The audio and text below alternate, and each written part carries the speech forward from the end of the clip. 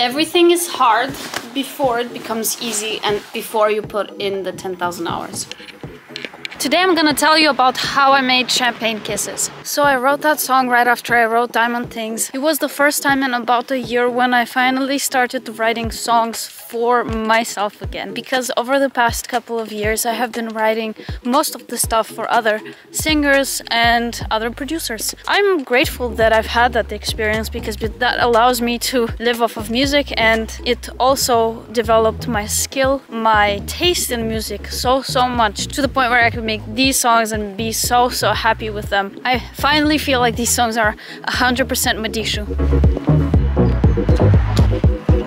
I have been also working a lot on my own self-development besides my career. When I lived with my parents, I had other things to think about, like how I'm gonna make a living, and especially with music. So my focus was mostly on my career at that time. Since I've moved out almost two years ago, I have been working so, so much on my own self-development. I have also gotten a lot more in touch with my feminine side and realized that a lot of things that I didn't like or thought I didn't like was because other girls liked it and other people liked it as well and I was always trying to be so quirky and unique but I've realized there's nothing wrong with liking stuff that other people like. I think it's impossible to not like anything anybody else likes anyway so why was I even trying? But getting in touch with my feminine side really helped me tap into this energy and this new vibe and aura that I have that helped me write Champagne Kisses and all the songs that are gonna come out throughout the year.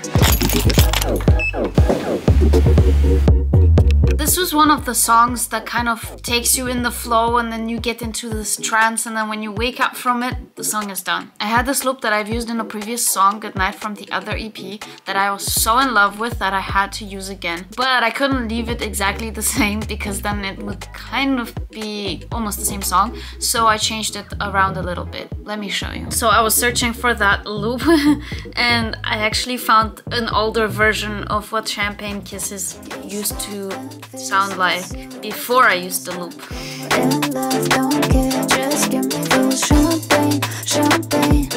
It was not bad. So this is the project with my production on it. This is what the loop sounded like before all the effects.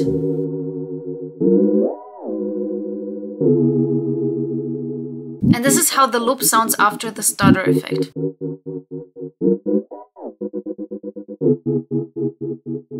Now let's add some drums and strings to it.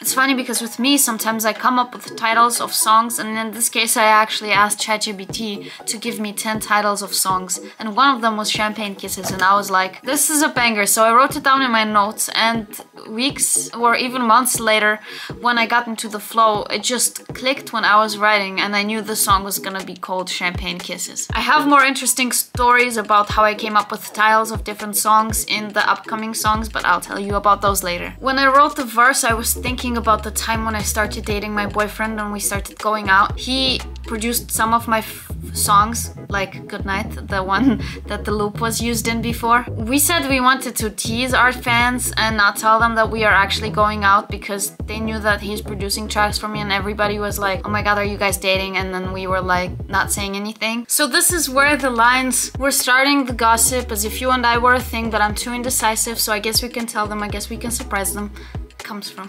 then I thought I had the production and I just went to the mix and master so I went to Wenzel Beck which is the guy who finished the production and I asked him to help me finish the song. He said that he thought the song needed a more of a cele celebratory vibe to it and then he worked his magic. I was a little skeptical in the beginning but it turned out amazing and it was exactly what the track needed so I will never question him again. Initially I wanted to release the, song on New Year's Eve but I wasn't quite ready for that, so I thought the next best thing is to start my new era on March 8th, which is International Women's Day. So that's how I made Champagne Kisses.